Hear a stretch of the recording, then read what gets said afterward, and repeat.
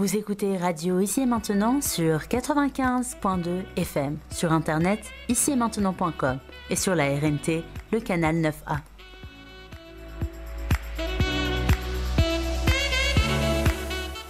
L'humeur du temps, tous les lundis dès 23h et Soleil de Perse, tous les derniers samedis de chaque mois, est présenté par David Abbassi, écrivain et historien.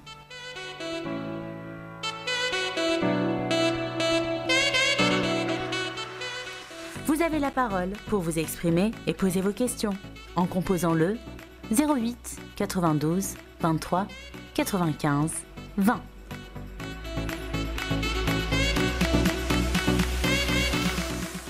Pour connaître l'actualité de David Abbassi en quatre langues, rendez-vous sur opinion.pm.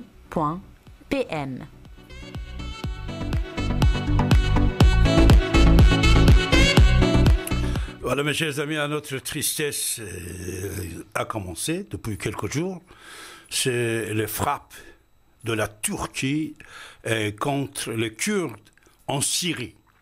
Alors, en Syrie, les Kurdes sont victimes des attaques aériennes euh, des Turcs. Rajab Tayyip il est en train de bombarder les Kurdes, les braves gens qui ont combattu Daesh.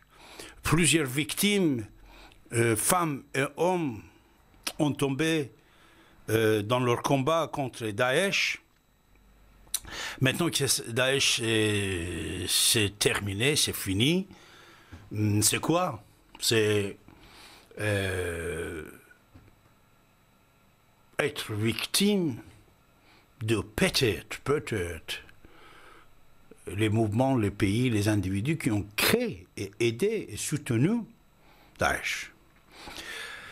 Malheureusement, les Kurdes, depuis des siècles, ils sont victimes. Dans tous les pays qui étaient divisés, ce peuple, par les colonisateurs, récemment, depuis le 19e siècle, même dans l'histoire, ce grand peuple qui, pendant des siècles, avait des pouvoirs absolus euh, dans le plateau perse, maintenant il est victime. Braves gens, euh, hommes et femmes, des braves gens vraiment. Ils ont quitté l'Europe. Ils ont quitté l'Europe, une grande partie des femmes et des hommes kurdes, pour aller combattre contre Daesh. Et aujourd'hui, ils sont victimes. Malheureusement, le Conseil de sécurité des Nations Unies non plus n'a rien fait. Mouet concernant cette histoire. Et de l'autre côté, Rajab Tayyip Erdogan, euh, il a annoncé comme quoi, puisqu'il est le soutien, puisqu'il est le soutien du Moscou, il va continuer ce bombardement. Alors pourquoi Moscou et l'Iran, la République islamique d'Iran, puisque grande alliée du Moscou, c'est la République islamique d'Iran. Si la République islamique d'Iran conteste, ce bombardement peut s'arrêter. Mais euh, euh, Moscou n'est pas contre, il a donné le feu vert et ce n'est pas n'importe qui qui le dit, c'est le patron de la Turquie, M. Rajab Tayyip Erdogan, a annoncé comme quoi ils ont le feu vert de Moscou, l'accord de Moscou pour écraser les Kurdes. Vous savez pourquoi? Puisqu'ils sont des marxistes et communistes, soi-disant, euh, non liés. Non liés à la Russie, non liés à la République islamique d'Iran. Euh, ils sont euh, indépendants. Leur patron, c'est euh, Abdullah Öcalan, qui est en prison en Turquie depuis des années. Vous êtes au courant, on l'avait arrêté. voilà. Voilà cette tristesse. Alors, de quoi vous voulez parler Plein d'autres sujets encore? Les gardiens de prison aussi il entre dans le deuxième semaine de contestation, mes chers amis, deuxième semaine de contestation des gardiens euh, des prisons. Manque d'effectifs et il demande 2500 postes à ajouter. de l'autre côté, il y a de négociations, le pouvoir politique. On va voir ce qu'il va faire peut-être demain.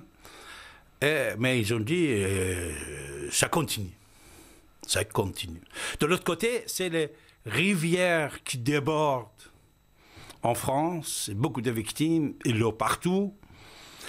Malheureusement, c'est la tristesse. Seulement, bonne nouvelle, c'est quoi? C'est 140 patrons de grandes entreprises mondiales en France, à Versailles, pour investir.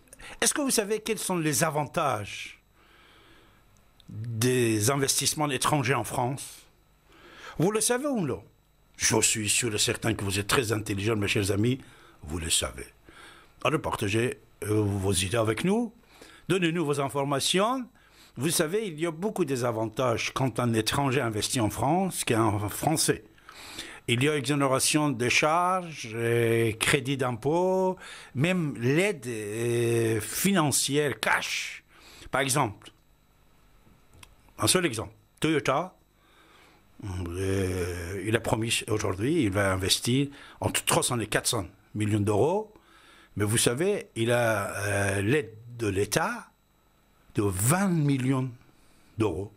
Il a touché 20 millions d'euros, mais il va investir 300 à 400 000 il y a toujours cet encouragement, cet avantage pour que l'argent étranger entre en France pour l'investissement. À ce sujet, si vous désirez parler au sujet de Kurdes ou les gardiens de prison, ou je ne sais pas ce que vous aimez, mes chers amis, David Abassier est à votre écoute. Tous les lundis, nous sommes ensemble dès 23h. Et mois de janvier 2018 qui avance, il avance, il avance, il, va arriver à la fin très prochainement, et c'est le temps qui passe.